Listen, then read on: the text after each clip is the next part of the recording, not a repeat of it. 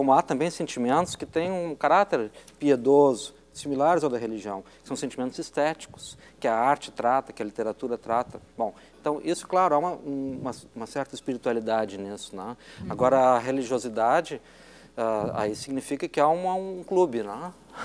há um credo, há um conjunto de dogmas, há princípios, há uma hierarquia de autoridade, há um modo de se portar, há exigências morais, por vezes de vestuário ou de uh, controle né, dos comportamentos, enfim, que é mais complexo, então exige um código. A espiritualidade não, a espiritualidade acho que diz respeito a valores humanitários, humanísticos, que nós podemos adquirir e, e celebrar uh, completamente isentos de religião. Muito também se questiona de que forma se pode vivenciar a religião ou a crença escolhida. O senhor falou sobre o Papa Francisco, Francisco no início. Agora que ele está completando o primeiro ano de pontificado, ele parece a nós que estamos vendo a, a, forma de atuação dele, que ele criou uma nova forma de evangelizar. Digamos que ele tenha atualizado o conceito de evangelizar. Ele pregou, ele prega a doutrina da Igreja Católica Apostólica Romana através de exemplos. Uhum. Não só de apenas falas, né? De generosidade, de simplicidade, de humildade sem falar necessariamente na palavra pecado. Ele dá uma certa uhum. liberdade para que as pessoas possam exercer a sua religiosidade. Essa deve ser, padre, uma nova forma de evangelizar? Com certeza. Isso daria até um, um outro programa, um outro debate sobre a pessoa do Papa Francisco, né? E o interessante é que se você olhar o que o Francisco fala, não tem novidade nenhuma. Com todo respeito, não tem novidade. Na verdade, o que ele está falando é ressaltando o Evangelho de Jesus Cristo é mostrando como muitas vezes ao longo dos dois mil anos o próprio Evangelho de Jesus Cristo ficou num segundo ponto. Né? Quando a religião foi desvirtuada, quando foi mal praticada, foi mal pregada. Né? Então ele leva, lógico, em primeiro lugar a Igreja Católica, mas ensina toda a humanidade a voltar às lições mais genuínas do cristianismo, que é construir essa fraternidade, que é construir a convivência, a comunhão. Talvez é a diferença é que ele pregue o que pode ser feito para seguir a religião, mas não condenando quem não a pratica. Não condenando, não exigindo. Talvez a, a palavra a pecado dele, tenha um peso. A frase dele, quem sou eu para te condenar? Uhum. Né? É, essa frase foi uma frase de grande modernidade. Foi, o, o Papa Francisco aí Está dando uma lição para todo mundo. Um passo adiante na, é. na reforma moral da igreja, né? que é reclamada por todos, pela sociedade que é influenciada pela igreja e pelos crentes em geral que sentem o anacronismo, né? E ele ali uh, deu uma jogada assim que desconcertou uh, uhum. ao dizer quem sou eu para condenar um homossexual. homossexual. Jogada forte. Uhum. Uh, agora há um outro fator aí que, que antecede essa questão que é, digamos, a performance da igreja, o evangelho. O evangelho é levar uma mensagem religiosa, uma boa nova em grego, mas era a boa nova da salvação cristã. Todavia, há um, um, um outro problema que interfere na nossa discussão aqui. Essas violências, essa intolerância surge quando algum indivíduo ou grupo social se acredita detentor da verdade. Pode ser a verdade política do totalitarismo, que quer impor aquela, aquela dogma, aquele modelo para todos, ou da religião, que acha que tem acesso a um conhecimento do sagrado superior, único, e que, como verdade, deve arbitrar as relações sociais e, inclusive, o corpo dos indivíduos, que pode padecer muito com isso. Então, um dos uh, elementos fundamentais da ideia do Estado laico é a percepção de que as religiões são fatos culturais importantes, porém inventados pelo ser humano, criados como a literatura, a dramaturgia, enfim, tudo que há de valor culturalmente estabelecido. Isso é uma consciência que os gregos chegaram ainda no século VI a.C., né? com Xenófanes de Colofão, que é um filósofo ainda fundamental para a modernidade, e que dizia isso, se os cavalos tivessem mãos, fariam a imagem dos seus deuses como cavalos. Então, quer dizer que os artistas produzem os objetos da devoção, que são as imagens que animam o culto, a peregrinação, as oferendas, ajudam na persuasão de que há uma realidade efetiva uhum. é, proclamada pela religião, mas percebeu aquele filósofo, isso é um fato cultural relativo. Diz ele, os egípcios fazem os seus deuses baixos, negros, com nariz achatado, bem ao sul, né, o Egito civilizado. Os traços, bem ao norte, os fazem ruivos e altos. Então, um grego no século VI percebeu esse fato fundamental que depois se tornou enciclopedicamente claro.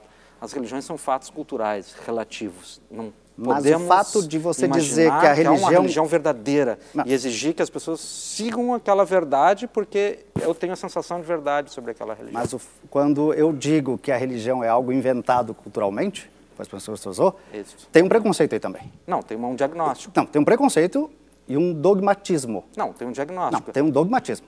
Vamos É, falar, Tem um a gente dogmatismo. Você segue está falando usando sobre o, esse assunto. o pensamento de um filósofo. Está dogmatizando o que ele disse. É, o dogma no sentido de que é um princípio tornado claro. O verbo grego deiknime, que é expor. Você está exibir. aceitando uma verdade. Vamos dizer assim, as religiões não são Tem fatos um preconceito. culturais, Não, mas tem um preconceito aí, dizer que foi criado. Eu não posso dizer que o muçulmano mas foi criou. criada. Não, não tem preconceito, tem diagnóstico. É um preconceito. A gente é- faz um rápido intervalo no programa Mobiliza e volta com essa discussão depois do intervalo. E nós voltamos com o Mobiliza de hoje, que discute a intolerância religiosa. O teólogo e filósofo Leonardo Boff esteve recentemente em Porto Alegre, onde participou de um evento sobre diversidade religiosa. E nós fomos conversar com ele. O Estado ele é laico, significa que ele é imparcial diante das religiões. Ele aceita todas elas desde que se situem dentro do marco legal, o direito aos- aceito pela sociedade e prescrito pela Constituição, pelas leis. Então o Estado não pode privilegiar nenhuma e não pode proibir nenhuma.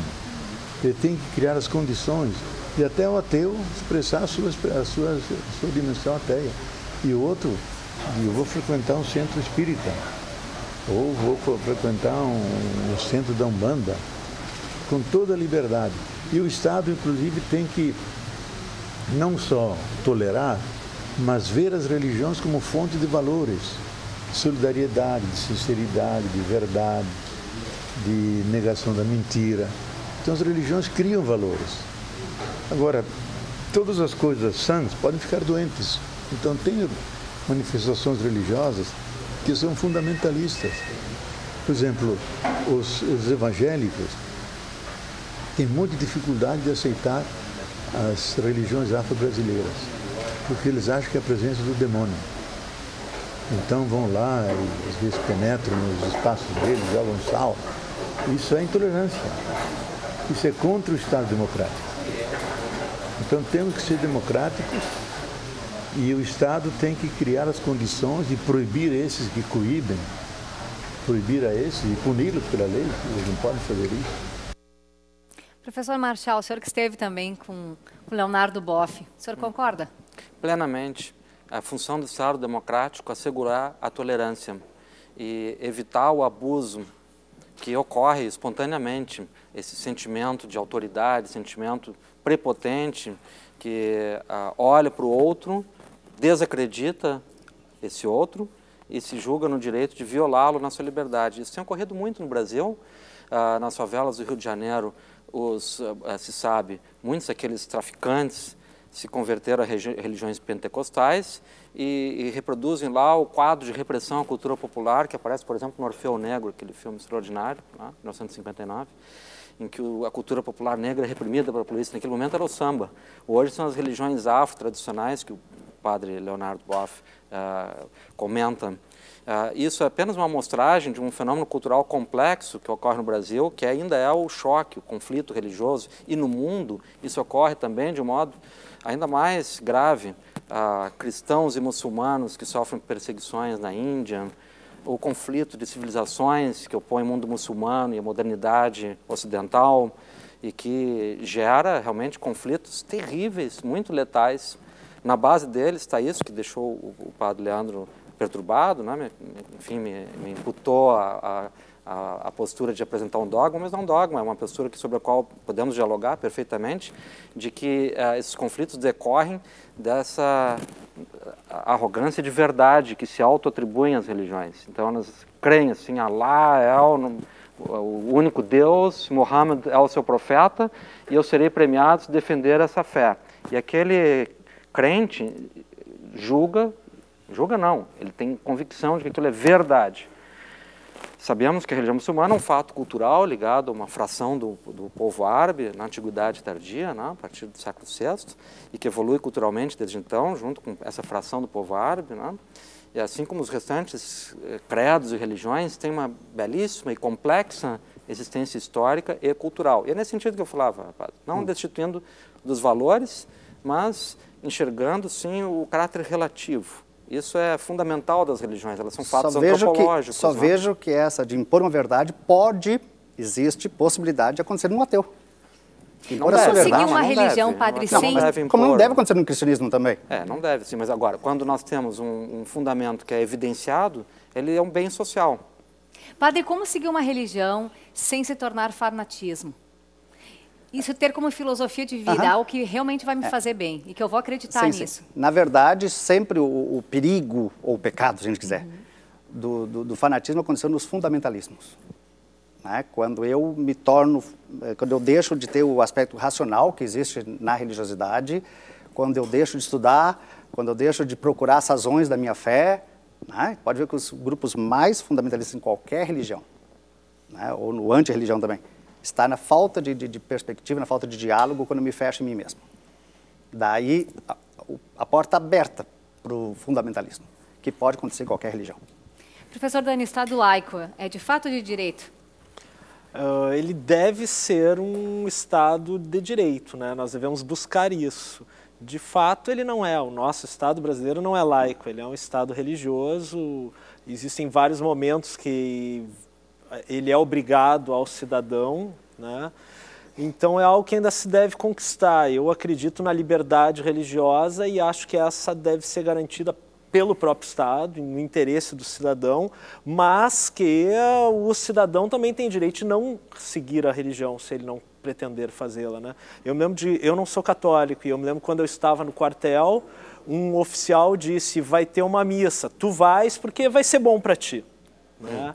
Isso é o tipo de atitude militar, autoritária, né? que é desproporcional, que é- não é razoável. Né? Assim como não poderia ter me levado àquela missa, eu fui, porque senão eu ia ser preso. Hum, isso não aconteceu. Eu tenho certeza que se eu falasse com o padre, ele ia ter me liberado. Claro. Né? Mas ah, ah, isso não pode acontecer, esse tipo de atitude não pode acontecer, que é a atitude que aconteceu na Câmara Municipal, embora o vereador tenha dito que não. Né? Ele pediu a demissão de uma pessoa porque ela disse que ela não queria seguir religião nenhuma. Né? Isso não é razoável. Duvido que o padre concorde com essa posição. Né? Eu acho que a questão é uma postura democrática, é a liberdade das pessoas. Se ela quer não acreditar em Deus, ela tem o direito de não acreditar.